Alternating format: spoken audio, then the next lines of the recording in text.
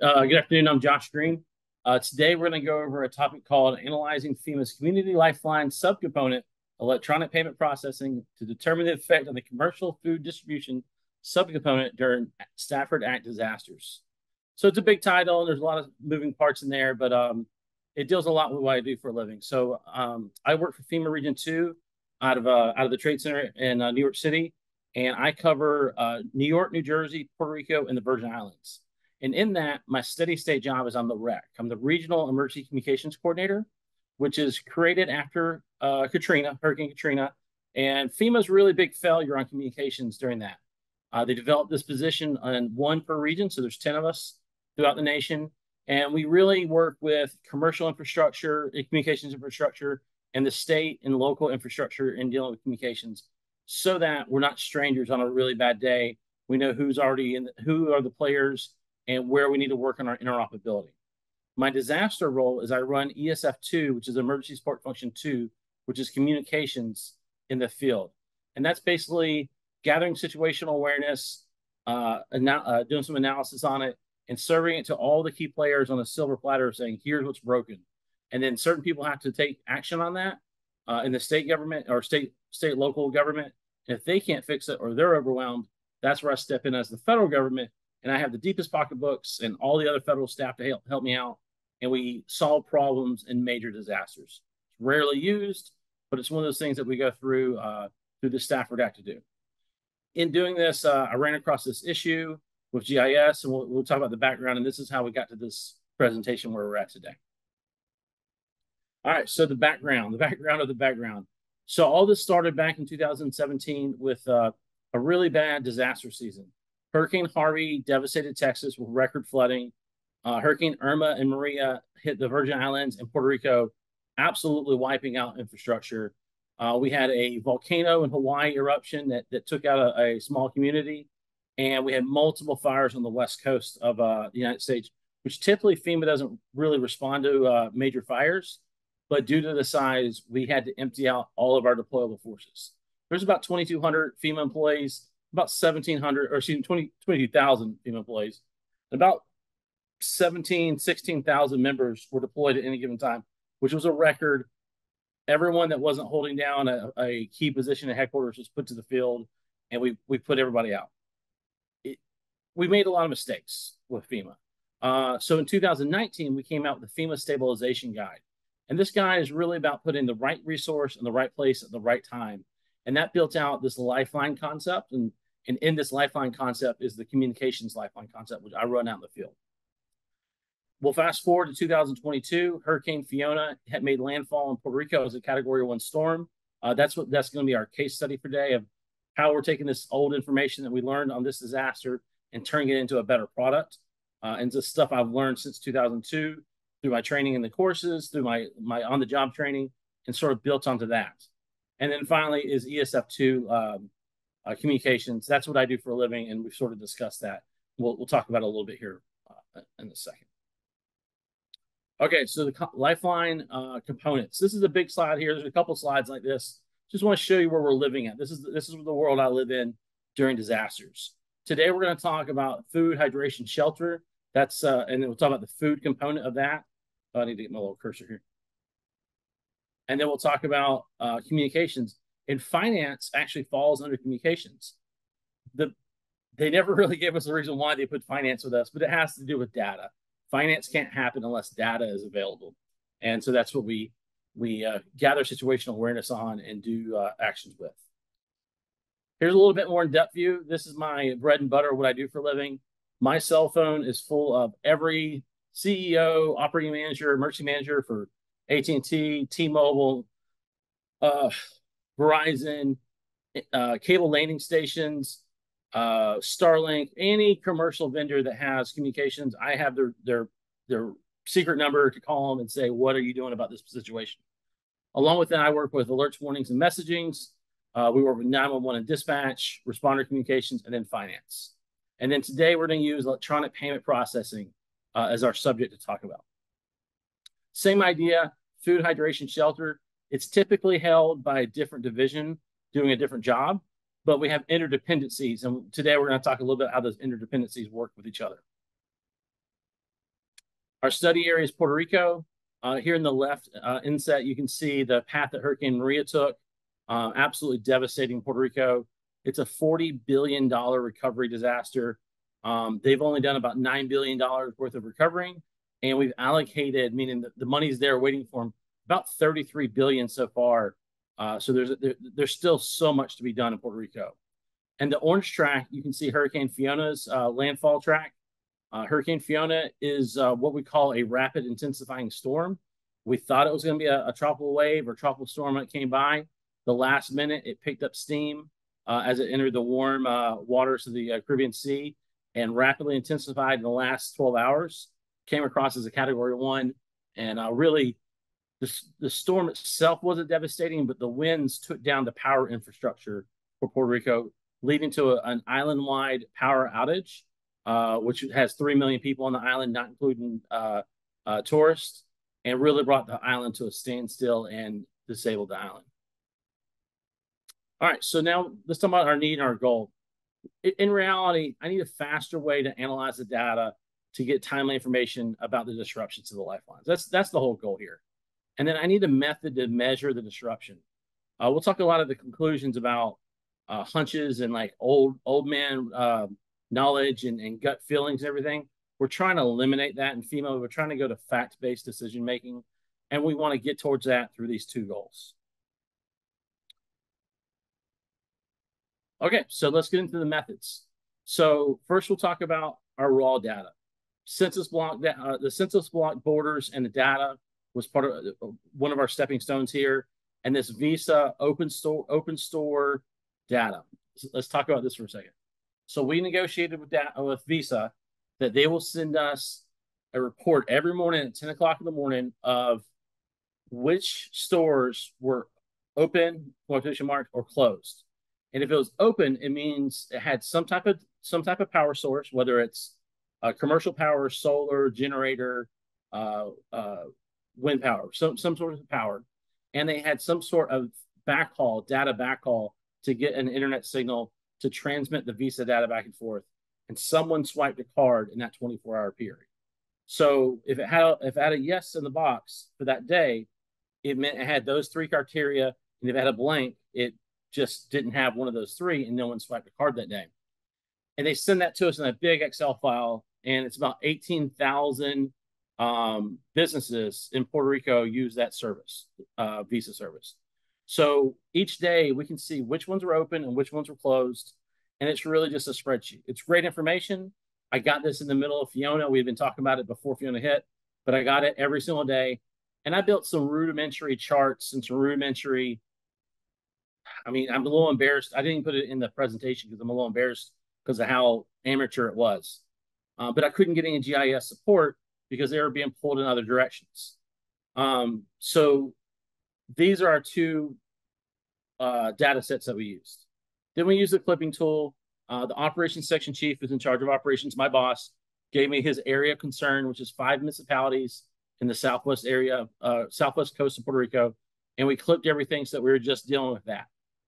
Then we use a service area tool to take those uh, locations that were open, and we did a 15 minute roll drive to the grocery store to see our service area to that grocery store um, so we could build a polygon of like who's actually close enough to the grocery stores to use them.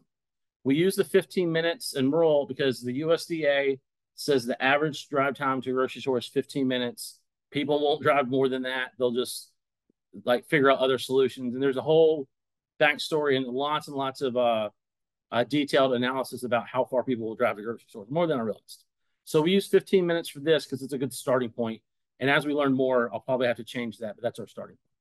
So that'll give us a polygon um, so that we can see who's within 15 minutes. Then we use our tabular intersection tool and our census data to overlay the two and figure out what is the estimated population per polygon of, of what's happening in that region, in, in that area of concern. And the results bring us that estimated population within 15 minutes. They look like this. If I can get it to work, okay.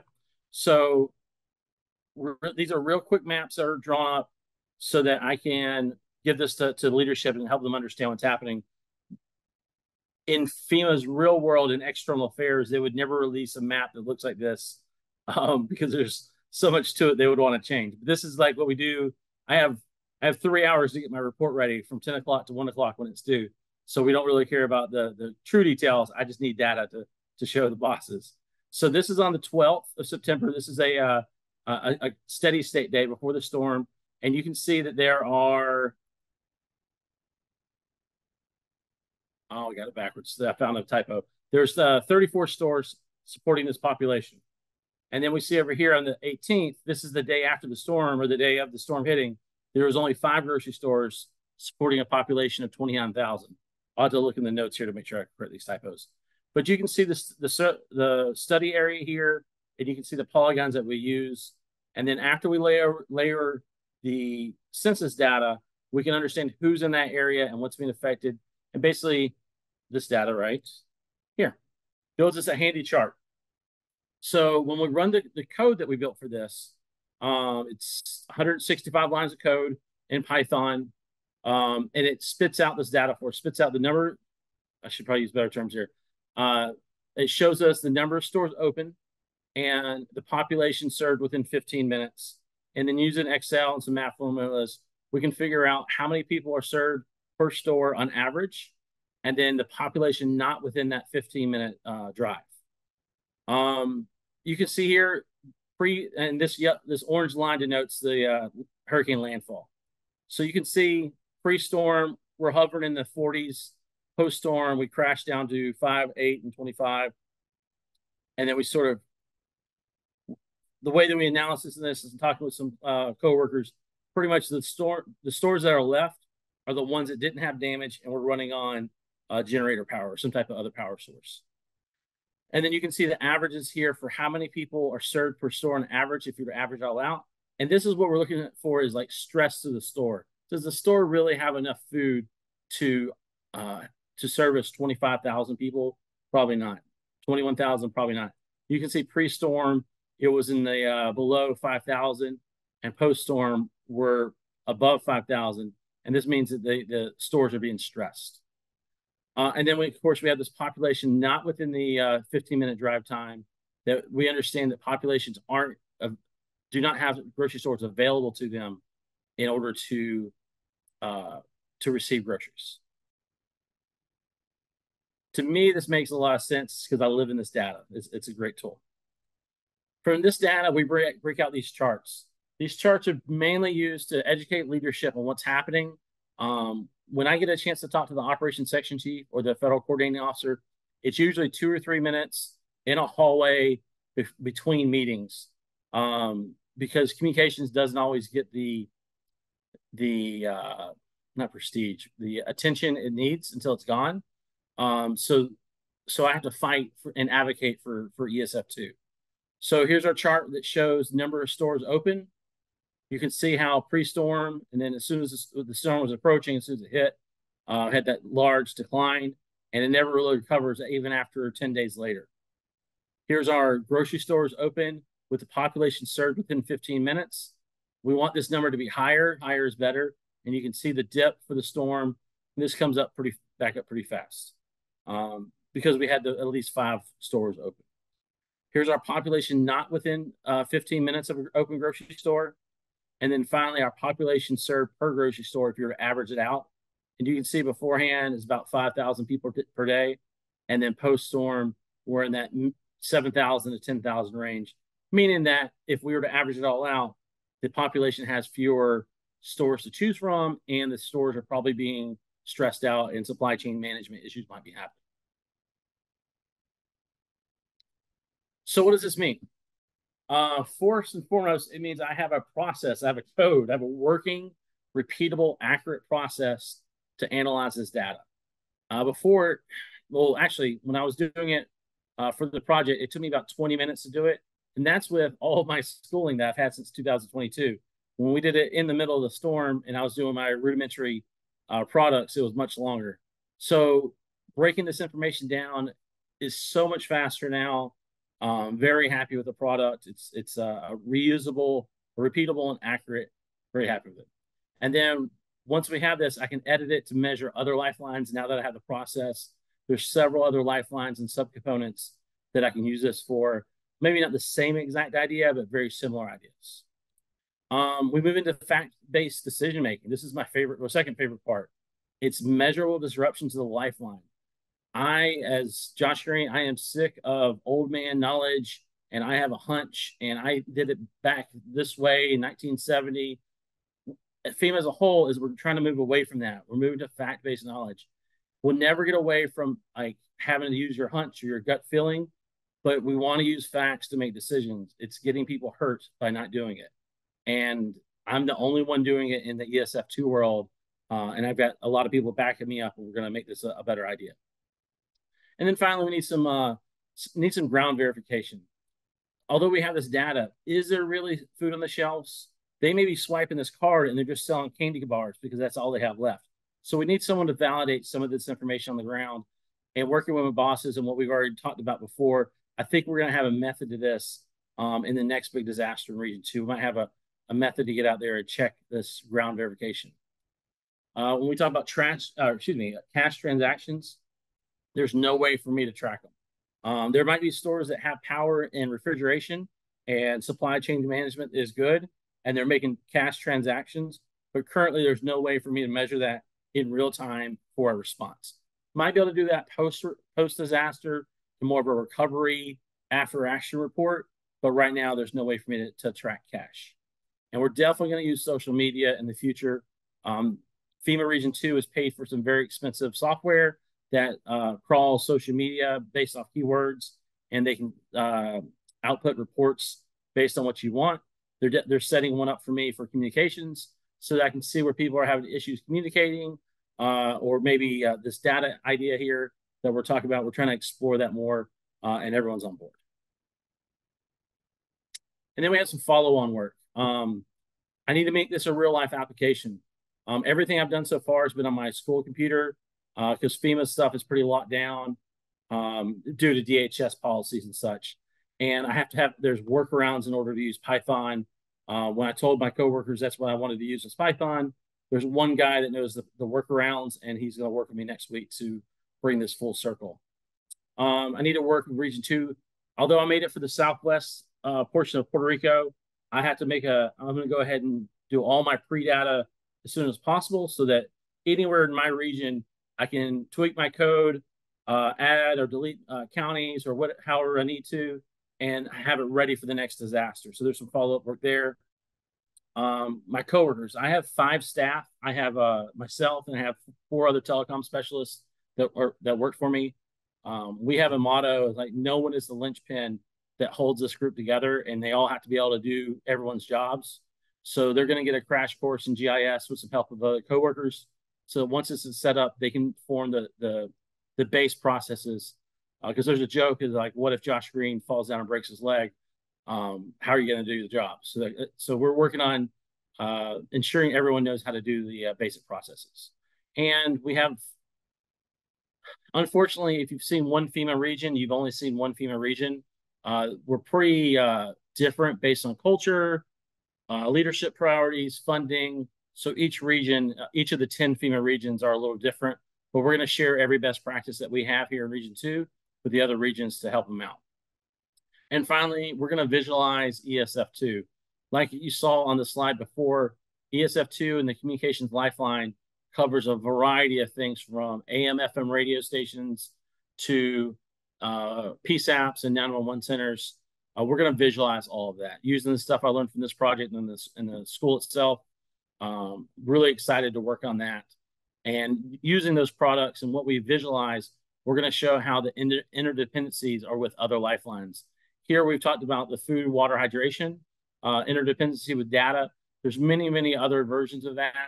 And there's one thing for us to all talk about it in the room. It's another thing for us to visualize it and measure it with fact-based decision making. I can't stress it enough. So we're kind of excited about this, and uh, I'm kind of excited about this, and um, we're working in the right direction. And pending any questions, that is my presentation.